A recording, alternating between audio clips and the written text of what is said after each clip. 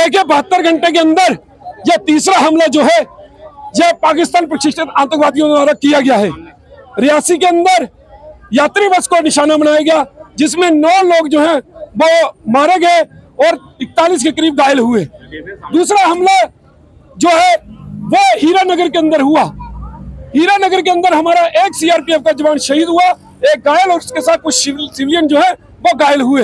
और डीआईजी और एसएसपी की गाड़ी को भी जो है इन आतंकवादियों ने टारगेट किया।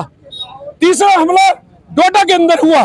उसके भी सुनने में आ रहा है कि दो जवान जो है वहाँ पर घायल हुए। यह कहीं ना कहीं पाकिस्तान और पाकिस्तान में बैठे हुए इन आतंकवादियों की आकाओं की बौखलाहट नज़र आती है कि जिस प्रकार से वो नहीं चाहते थे कि माननीय प्रधानमंत्री जी मोदी जी तीसरी बार भारत के प्रधानमंत्री बने। उन, उनके एनडीए को पूर्ण बहुमत देते हुए उनको फिर से प्रधानमंत्री चुना। अब ये बुखलाड़ उनकी जो है, वो सामने नज़र आ रही है और दूसरा कहीं ना कहीं हो सकता है कि यात्रा को बाधित करने की कोशिश, यात्री कम आए, ऐसी कोशिश भी हो सकती है। लेकिन हमारे, ना तो देश उनसे डरने वाला है, ना देश के नागरिक उससे डरने वाला है, ना हमारे यात्री जो हैं, इन आतंकवादियों से डरने वाले हैं।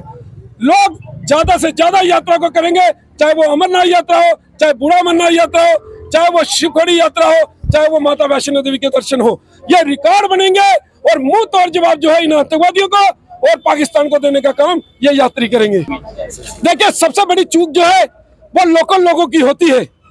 लोकल लोगों को अपने आँख कान खुले रखने हैं। यह समय ऐसा है, हमारे प्रदेश की परिस्थितियाँ ऐसी हैं। मैं लोगों से अपील करना चाहता हूँ कि हर जगह पुलिस नहीं पहुंचेगी, लेकिन हमारे लोगों को सतर्क रहना है और इन आतंकवादियों के मंसूबों मंसूबों को नाकामयाब करना है। उन्हीं को अपने मोहल्ले में, अपनी कॉलोनियों में जो है, वो ध्यान रखना है, ताकि कोई भी ऐसे व्यक्ति जो वहाँ के नहीं है, उनको पूछे, वो यहाँ पर क्यों आए? और तुरंत पुलिस को जो है, वो सूचना दे। ये चीज़ें करनी पड़ेंगी। तो इस तभी ये इस चीज़ को जो है, वो रोका जा सकता है। दूसरा, हमने कहा कि हमें गन लाइसेंस की डिमांड है, और हम गन लाइसेंस की डिमांड जो है वो यूटी सरकार से कर रहे हैं। अगर उनके पास हथियार होते, कल जिसे गाँव के अंदर आतंकवादी आए, अगर उनके पास हथियार होते तो पुलिस के आने से पहले ही हमारे लोग इन आतंकवादी को जन्म पहुँचाने का काम करते।